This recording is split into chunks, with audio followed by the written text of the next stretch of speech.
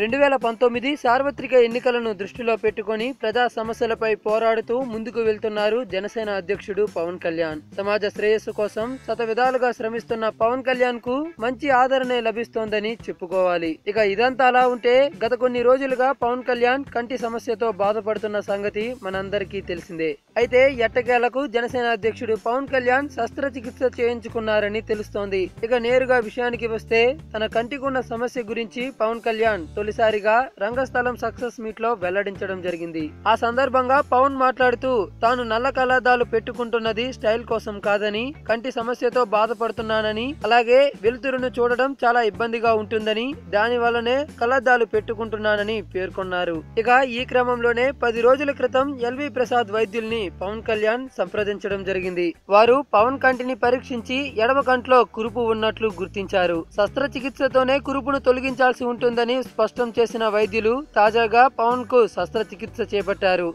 ఇక ఆయనకు చేపట్టిన సర్జరీ సక్సెస్ అయిందని వైద్యులు చెప్పుకొచ్చారు. శస్త్రచికిత్స జరిగిన అనంతరం నాలుగు రోజుల పాటు విశ్రాంతి తీసుకోవాలని వైద్యులు పవన్ కళ్యాణ్కు సూచించినట్లు తెలుస్తోంది. ఇక ఈ నెల పదహారవ తారీఖు నుంచి తూర్పు గోదావరి జిల్లాలో ప్రజా పోరాట యాత్రలో పవన్ కళ్యాణ్ పాల్గొనాల్సి ఉంది. అయితే తాజా శస్త్రచికిత్స వైద్యులు విశ్రాంతి తీసుకోవాలన్న సూచన చేసిన నేపథ్యంలో యాత్ర జరుగుతుందా లేదా వాయిదా పడుతుందా అన్నది ఇప్పుడు ప్రశ్నార్థకంగా మారింది. ఇక ఈ నేపథ్యంలోనే జూలై ఇరవై ఆరవ తారీఖు నుంచి జనసేన అధ్యక్షుడు పవన్ కళ్యాణ్ తిరిగి యాత్రను ప్రారంభించబోతున్నట్లు గుసగుసలు వినబడుతున్నాయి. మరి ఈ వీడియో కనుక నచ్చితే లైక్ చేయండి అందరికీ రీచ్ అయ్యేలా షేర్ చేయండి. దీనిపై మీ యొక్క అభిప్రాయాలను కామెంట్ కూడా చేయండి.